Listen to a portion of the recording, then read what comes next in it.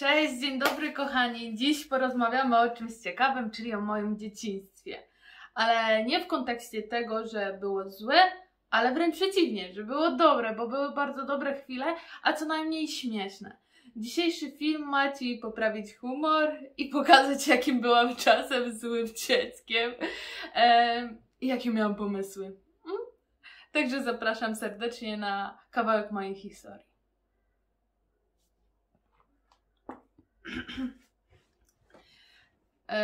Każdy mógłby się spodziewać, że w dzieciństwie miałam same przykre sytuacje, ale też było wiele, wiele, wiele takich e, ciepłych.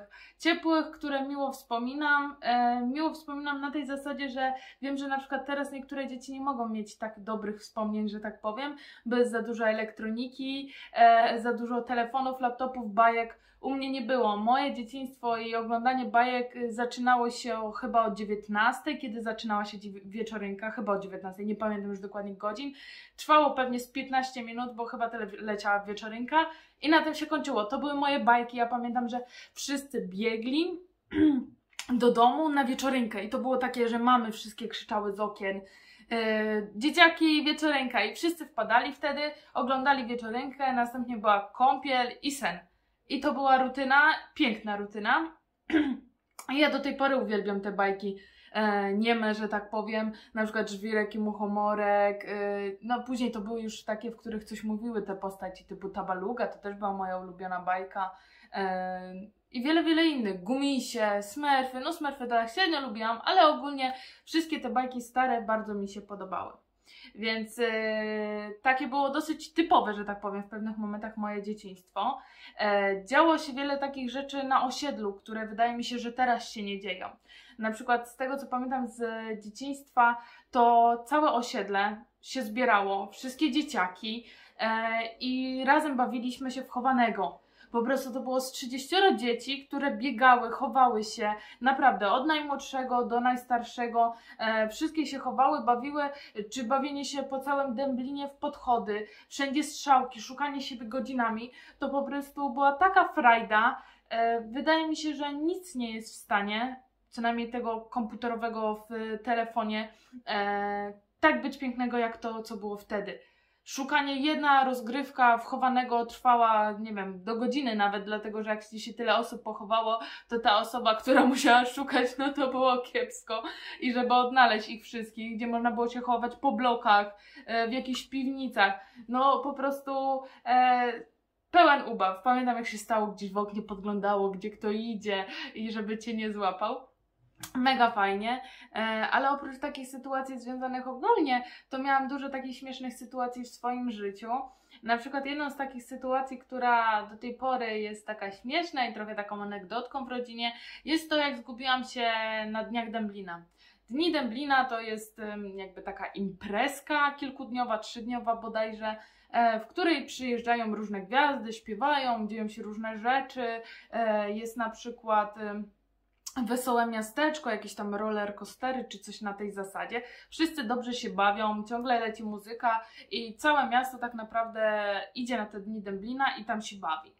No i ja będąc malutka, wydaje mi się, że miałam 4-5 lat, więc to jest bardzo dawne wspomnienie. Nie wiem, czy takie dzieci, no pięcioletnie dziecko, no to może już pamięta coś. No w każdym razie ja byłam taka malutka. Na pewno nie chodziłam do szkoły, to, to jest w 100% pewne.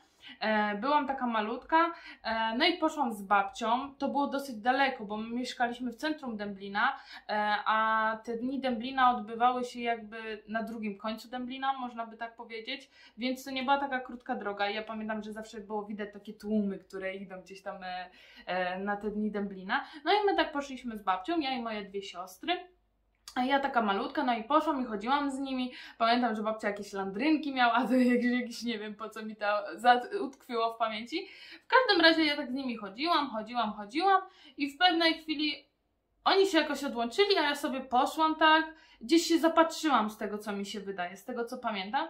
Zapatrzyłam się, no i tak nie mogłam ich chwilę odnaleźć, więc tak poszłam do tego wyjścia, że tak powiem, z tych dni Dęblina, taka zapłakana i zobaczył mnie obok pan, który miał stragan.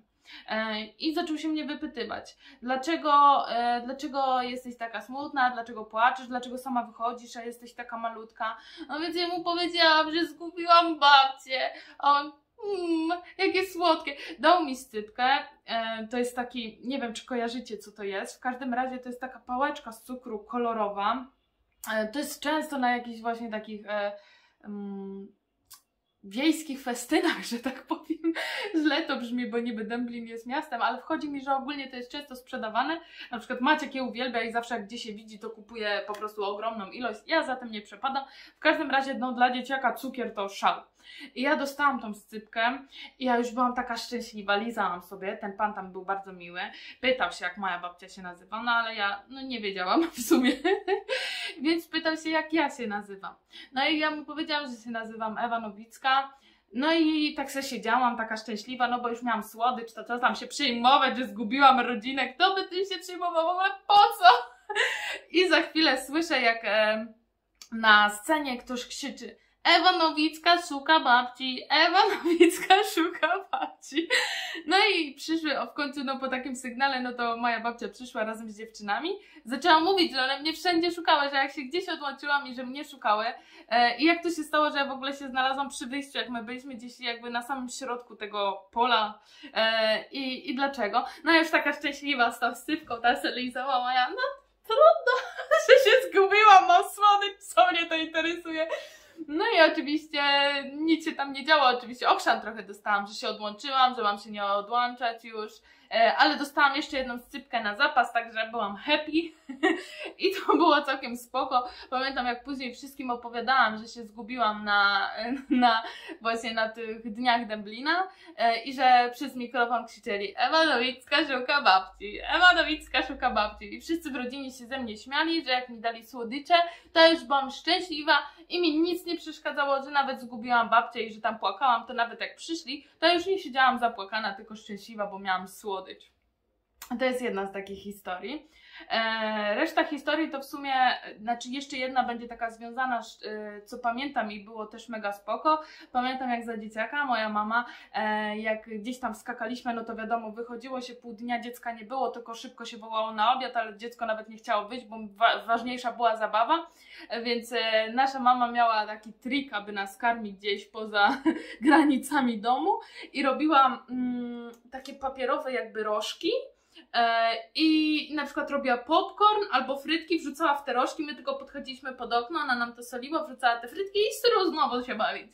To też jest takie me mega miłe wspomnienie, że, że po prostu a, gdzieś tam lecisz się bawić, dobra, bierz ze sobą prowiant każdemu dziecku, czwórka dzieci, e, wrzucamy w ten wrożek frytki i leć, biegnij, baw się. To, to jest też takie bardzo miłe wspomnienie. E, taki fast food. Moja mama robiła za fast food w takim razie w tamtym czasie, bo tutaj dzieciaki nie dało się złapać, żeby szybko dać im jeść, to po prostu, żeby wszystko, coś tam dać na wynos, albo jakieś kanapki, owoce często nam dawała. E, także za taki fast food robiła, można by powiedzieć. Mm, a reszta historii, e, to są historie związane z moim bratem tak naprawdę. Ja go nie lubiłam. I moja mama opowiadając mi o tym, że ja go nie lubiłam od maleńkiego dla mnie to jest śmieszne z perspektywy czasu, ale dla mojej mamy pewnie to nie było śmieszne, jak ja po prostu mogłam nienawidzić swojego brata. Pewnie to wynikało z jakiejś y, zazdrości. Pewnie tak było, no bo małe dziecko. Między mną a bratem jest dwa lata różnicy, e, także no niewielka różnica, ale podobno byłam mega zazdrosna. I na przykład przykładem tego jest, e, że jak on był malutki, leżał w łóżeczku i nawet nie miał ząbków, to ja obgryzłam wszystkie... Mm, wszystkie korki od pilota i powiedziałam, że to on zrobił i schowałam mu pod poduszkę. Ja tego nie pamiętam, bo byłam za mała, ale mama właśnie mi wspominała, że, że obgryzłam wszystko i powiedziałam, że to on. takie logiczne, naprawdę logiczne. Nie wiem, w takim małym dziecku może być e, tyle takiej jakby nienawiści, że tak powiem, do drugiego dziecka. E, I to jest jedna ze śmiesznych historii, ale też mama mówiła, że nigdy nie mogła nas zostawiać samych, bo ja ciągle go chciałam bić.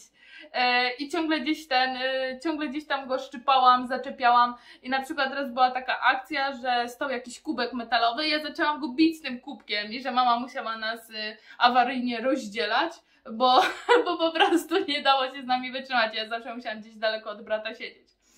Później, jak byłam troszeczkę starsza, to nie tyle, że go nie lubiłam, co po prostu on mnie strasznie denerwował. Był takim małym srocem latającym za mną i chyba za wszystkimi siostrami. I, no i może to wynikało też, nie wiem, że był chłopcem. Nie wiem, ciężko stwierdzić, po prostu nie, nie, nie będę tego rozkminiać, bo byłam dzieckiem, więc ciężko stwierdzić, co tam miałam w głowie. W każdym razie on mnie denerwował, bo ciągle za mną biegał i on tak y, nie potrafił się zająć sobą, tylko chciał z nami się zadawać, co akurat nie było dziwne. I pamiętam, że kiedyś mnie tak zdenerwował, bo chodził, mnie drażnił, coś mnie wyzywał, coś, no w każdym razie strasznie mnie denerwował. I w końcu ja jeździłam sobie tak rowerem, jeździłam, jeździłam i on biegł sobie, biegł, jak mnie zdenerwował i go przejechałam rowerem. Straszne, strasznym dzieckiem byłam, mówiłam, że robiłam dziwne rzeczy.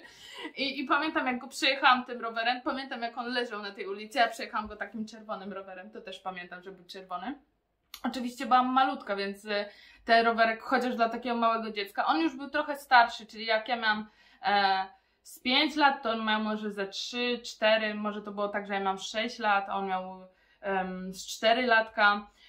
I, I ja go właśnie tak przejechałam. Nic mu nie było. Oczywiście, że nic mu nie było, ale, ale sam fakt, że go przejechałam rowerem. Później pamiętam też była taka sytuacja, mieliśmy, mama z tatą zrobili nam taką na jabłonce huśtawkę z opony i my wiecznie się tukliśmy, e, no i doszło do tego, że chcieliśmy obydwoje się pobujać na tej huśtawce. No i mój brat miał nowe okulary, e, no i to kiepsko się złożyło, bo się zaczęliśmy tłuc, tłuc, tłuc i ja mu tak strzała w twarz. No i mu okulary się połamały. I miałam straszny okrzan z tego, co pamiętam, ale pamiętam to właśnie, mam cały czas w głowie tę sytuację, jak stoimy przy tej huśtawce, on mnie coś tam drażni, ciągnie, ciągnie, ciągnie, ja pach w łeb. No i popłakał się, no straszne miał dzieciństwo, współczuję mu dzieciństwo ze mną, nic na to nie mogę poradzić. E, no i chyba to są takie e, standardowe historie z mojego życia, gdzieś tam właśnie e, tłuczenie się z bratem, lub jakieś dziwne sytuacje, gdzie gdzieś się gubiłam albo coś.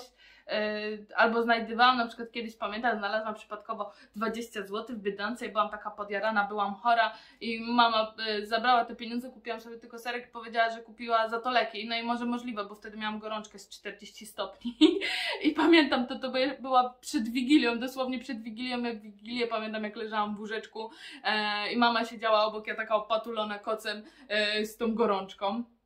E, także takie śmieszne historie wydaje mi się. Śmieszne z perspektywy czasu, z tamtej strony to nie wyobrażam sobie życia mojej mamy z naszą dwójką.